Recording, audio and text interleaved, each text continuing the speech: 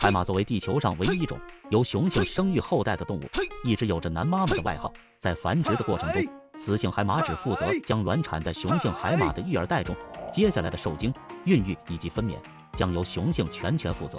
而下面这种鸟类虽然无法代替雌性生产，但同样不失为一个超级奶爸。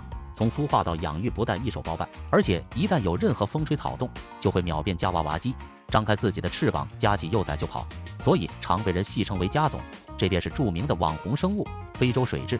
它们是一种高度水栖的涉禽，在非洲广泛分布。由于常需要在水草间行走，所以长了一双像超模一样的大长腿。它们的脚趾巨大，能以最小压强站立在水生植物之上，施展轻功水上漂。非洲水蛭实行一妻多夫制，且雌鸟体型比雄鸟更大。它们会与众多雄鸟交配，产卵多达数十窝，但它们只负责生，不负责养。一旦造娃完成，就会立马提裤子走人，继续寻找新欢。雄鸟只能当起全职奶爸，它们负责孵卵并照顾后代。不得不说，雄鸟带起娃来非常的靠谱。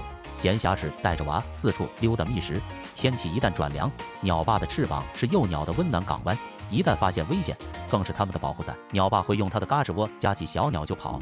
非洲水蛭在自然界中的天敌众多，能够攻击幼鸟的捕食者，自然也能攻击鸟爸。用两面夹击的方式带着一堆娃跑路，必定也会降低鸟爸的逃生机会。但或许是天性的使然，即便危险近在眼前，鸟爸还是义无反顾地选择将孩子护入怀中。这种是毒之情最天然也最动人。